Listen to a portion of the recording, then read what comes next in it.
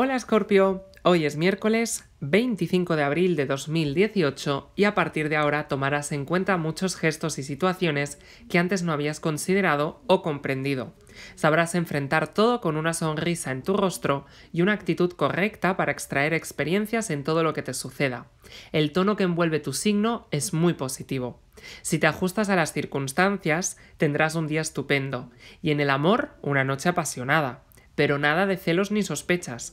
Tus cualidades personales te ayudarán notablemente a salir muy bien de cualquier situación embarazosa que surja entre tú y un amigo o tu pareja, así que cuidado con las terceras personas.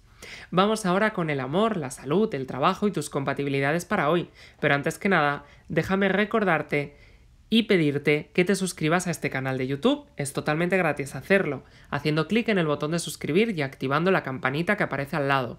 ¿Por qué? Porque estamos a punto de llegar a la cifra de 100.000 suscriptores y ese momento va a ser algo épico. ¿Qué ocurrirá entonces? Que tenemos preparados un montón de sorteos que nos gustaría que pudieses tener, así que no te los pierdas. Empezando por la salud, tu cuerpo demanda de acción, pero también moderación. Es el día del equilibrio en el que te percatas de la importancia que tiene una buena alimentación unida a la clave que conforma el reposo, el sueño y la actividad dinámica. Si sigues un ritmo de vida natural, no tendrás necesidad de dietas drásticas ni antinaturales. En cuanto al trabajo, tal vez estés aburriéndote un poco en tu trabajo y lo consideres un poco rutinario. No obstante, analiza bien lo que estás haciendo y te darás cuenta de que tu actividad te está ayudando a muchas personas, aunque sea con el simple hecho de estar ahí.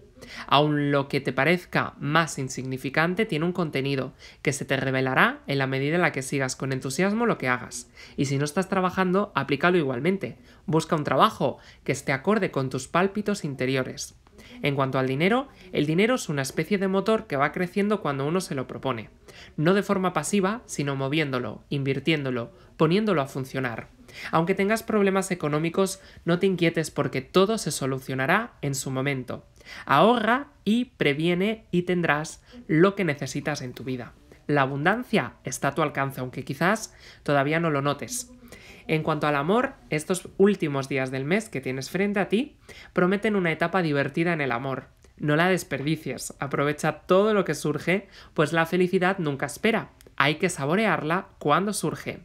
No tomes los comentarios que escuches este miércoles como si fueran ataques personales, vívelos en tu experiencia personal, pero desde una forma externa, viviendo y disfrutando de tu presente. Si estás soltero o soltera, tu estabilidad emocional dependerá de lo que dejes atrás y cómo te encauces en el camino correcto y positivo de la rectificación de los errores.